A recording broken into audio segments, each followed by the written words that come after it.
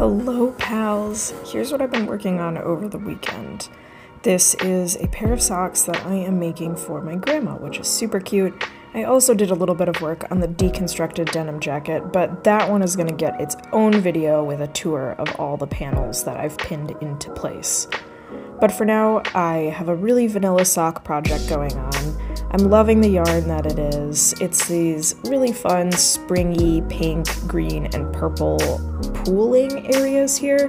The other sock actually striped, which was just pure luck of how I cast on and all the colors lined up.